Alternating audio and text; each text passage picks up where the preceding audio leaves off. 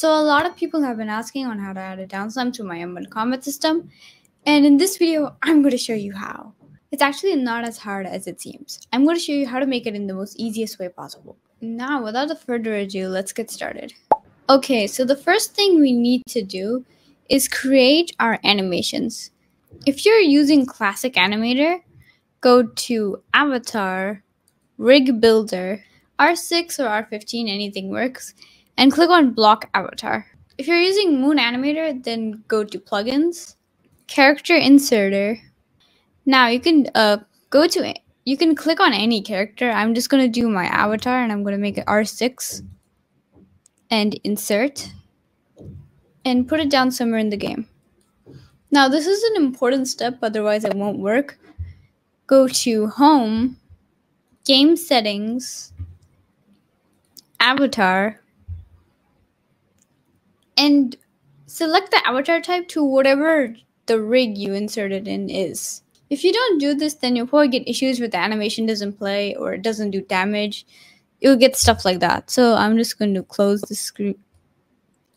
I'm going to be using Moon Animator, so I'm going to click on Moon Animator and select the rig that I want to animate on. Click on New Rig Animation Rig name and path must be unique. Oh, because I already have one here. I'll just delete this. I'm going to click on new rig animation. I'm going to move it a bit to create a keyframe. Make it go up a bit more. And then move it down.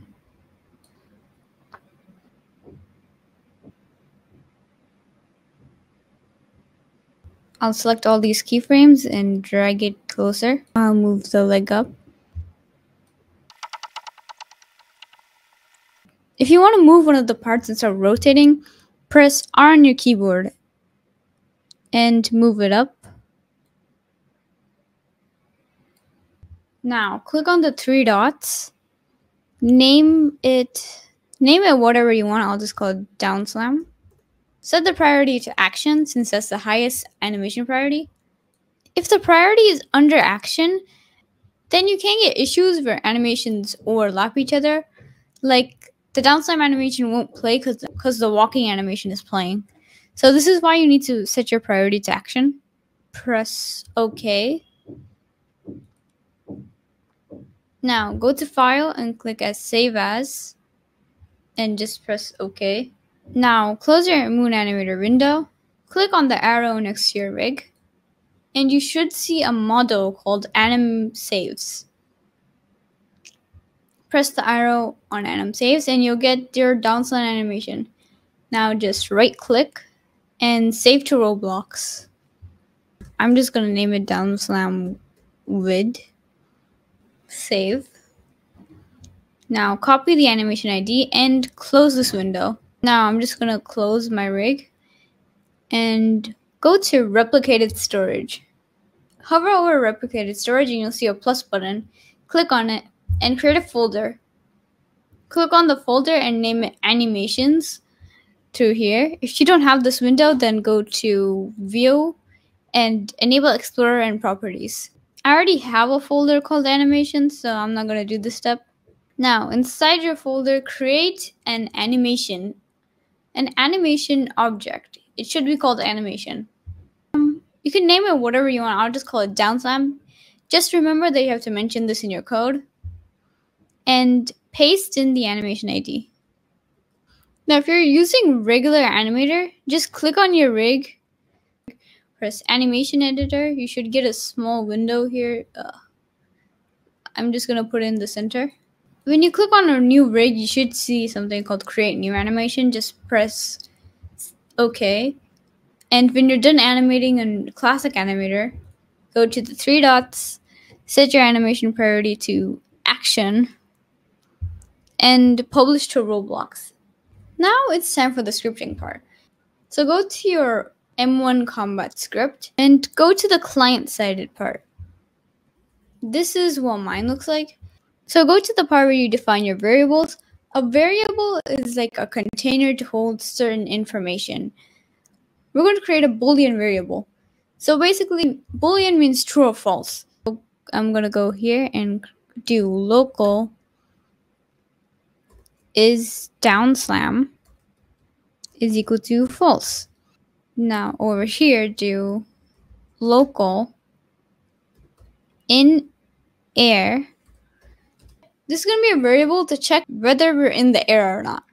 Usually a down slam is we jump and we kick and we kick the opponent down with our legs. So for that we need to code in the functionality that if we jump then something will happen. We're getting something called a humanoid state. Inside every player that joins the game, there will be something called a humanoid. It's basically used to control and modify the player. Like dealing damage is also a function of the humanoid. Humanoid. And we're using an inbuilt function called get state. So if you're wondering what a state is, it's basically like what the player is doing. So running will be a state, jumping will be a state, falling is also a state. So now just do is equal equal to enum the, the humanoid state type dot freefall. Freefall basically means you're falling. Do or humanoid get state is equal equal to enum the humanoid state type dot jumping. Now on this line, do if not in air, then I'll just paste the animation and firing remote part inside of this if statement. Basically over here we're saying if we're not jumping or falling, then create a variable called anim, order animation table based off the combo number, and play the animation. Send a remote to our server. If you don't know what server is, there are two things called client and server. Server is basically like the stuff that shows on screen, like VFX, sound effects, animations, so on. And client is basically the backend stuff the stuff that doesn't show on screen or the main mechanics of your game, like detecting clicks. So we're sending our remote to the server as a signal that something has happened. We're giving you some information. Use that information to do something. And the information we're sending is combo. Now let's code it in to check with whether we're actually falling or we're jumping. So do else if in air, then local downslam anim local downslam anim is equal to rs dot. So basically in my script rs is replicated storage on this line here. Animations folder and do colon find first child downslam if your animation object is not named downslam then just change this to your animation object name. So find first child basically means we're finding something, we're finding a specific object inside our animations folder. Oh, and let's do humanoid dot animator. So inside every player's humanoid, there's something called an animator. It helps with loading and playing animations. Colon load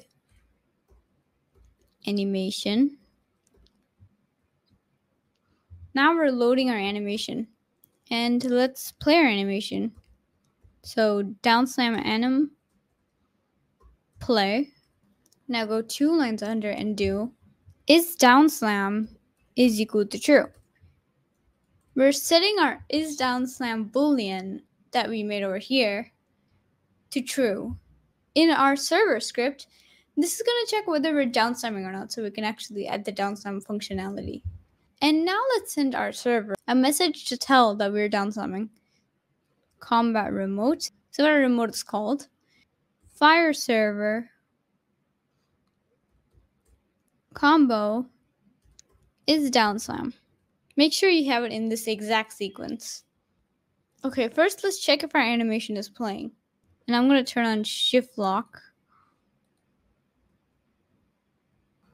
Now, jump click. So, jump, oh, jump click. Yes, our animation plays. I think I made mine a bit too slow, so it looks kind of strange. but it should be good. Now I'm going to stop and I'm going to go to my M1 server script. Now, basically, you're saying is if our remote is on the server, we're going to connect it to a function and we're going to take the information that we were given. Player is the default information. On the client, we sent combo. And now we're going to add is down slam. Now, on the very bottom of our script, there should be a bunch of if statements to see if our combo number is 4 or less than 4. We'll go underneath there and do else if is down slam is equal equal to true, then let's do enemy humanoid take damage and our damage amount. So let's just do 20. Let's see if it does damage right now. Oh, and by the way, you can't really check damage on your Moon Animator rig. So it has to be a regular inbuilt Roblox rig. Jump, click, jump, click. Okay, and it doesn't work. Then, hmm, what if we comment this part out? Oh, I see why. Okay, just go go completely underneath else and do if is down slam then enemy humanoid take damage and the amount of damage I'll just put 20 again jump click. Yes and it does damage as well. Jump click. Jump click. Now let's just add knockback to our down slam so I've already created knockback over here. Let's add knockback to our down slam as well. So to do that, do local vel is equal to instance dot new linear velocity enemy character dot humanoid root part. So basically this line means we're creating a variable called velocity and this variable is going to hold a new object that we're creating in code. And it's going to be something called linear velocity. And we're putting linear velocity inside the enemy character's humanoid root part. It's like the humanoid, but a bit different. We can use the humanoid root part to add particle effects, to add velocity, and so on. Now do local attachment is equal to instance.new attachment. And we're putting this in the enemy characters. Let's just copy paste that. Humanoid part. Now do velocity dot attachment zero is equal to attachment. So basically velocity needs to be relative to something. So we're just gonna make it relative to the attachment we just made. Now do velocity dot max force is equal to 100,000. Now do the vel dot vector velocity is equal to vector 3 dot new 0 0 100 this is basically the direction where we're pushing the player to so here we're pushing it backwards and now do vel the enabled is equal to true. We're making sure the velocity is enabled right now. Uh, just do wait point one. So we're asking the computer to take a break for a while and not do anything. And then we're going to do velocity dot enabled is equal to false. We're turning the velocity off. We're destroying our attachment And we're destroying our velocity. Jump, click. Oh, wait. Jump, click. It's moving a bit slow.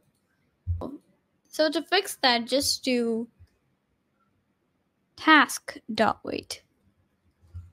So task wait base is basically just like wait, but it's more smoother.